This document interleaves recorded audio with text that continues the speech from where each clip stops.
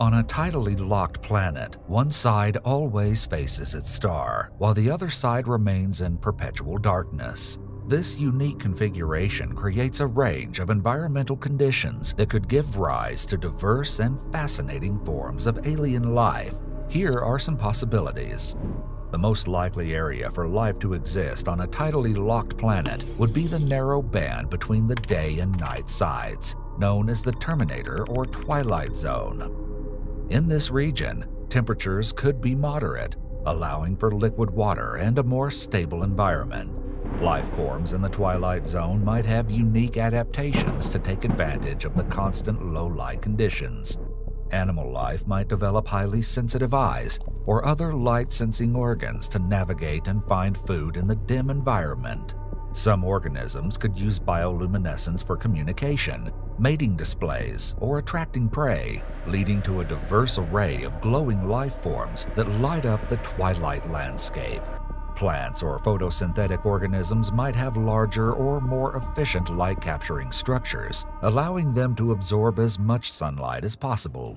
On the star facing side of a tidally locked planet, extreme temperatures and intense radiation might give rise to extremophiles, organisms capable of surviving and thriving under harsh conditions. Their cellular structures might incorporate heat resistant proteins or other molecules to protect their DNA from damage. They might also have specialized pigments that reflect or absorb harmful radiation. These life forms could utilize solar radiation as an energy source, similar to how Earth's plants use photosynthesis. Such photosynthetic organisms could take advantage of the constant sunlight to generate energy, potentially resulting in highly productive ecosystems. Some life forms might even utilize alternative biochemistries, such as silicon-based life, which could be more resistant to high temperatures. On the frigid side, life would face unique challenges. The perpetually dark side of a tidally locked planet might be too cold for life on the surface. However, life could exist below the surface, where geothermal activity provides a source of heat and energy. Subsurface organisms might rely on chemosynthesis, using chemical reactions from geothermal vents to produce energy instead of sunlight. These ecosystems could be similar to Earth's deep-sea hydrothermal vent communities, with microbes forming the base of the food chain and supporting a diverse array of specialized organisms. These creatures might have adaptations to withstand the cold, such as antifreeze proteins or unique metabolic processes that allow them to survive at low temperatures.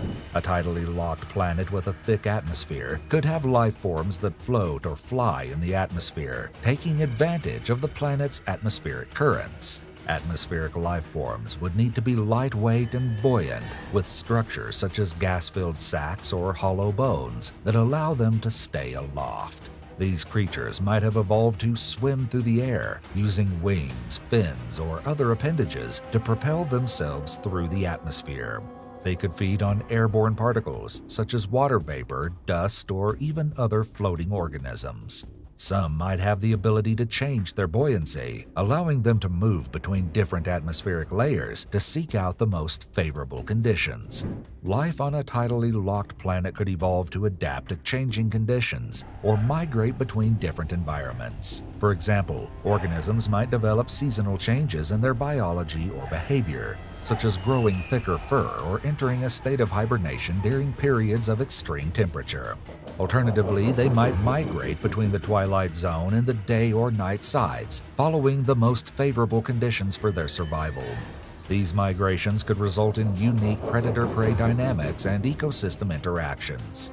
And then, organisms on a tidally locked planet might develop intricate symbiotic relationships to help them survive in the challenging environment.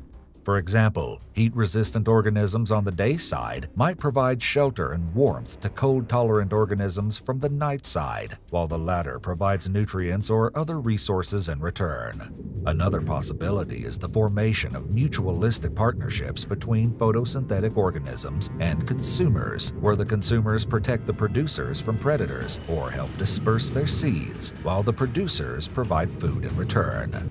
These are just a few possibilities of how alien life could evolve on a tidally locked planet. The actual forms that life might take on such a world would depend on the specific conditions and resources available, but these ideas serve to illustrate the diverse and intriguing possibilities that await us as we explore the universe. Don't forget to watch the video on the right and subscribe. Thanks for being part of Cosmoknowledge.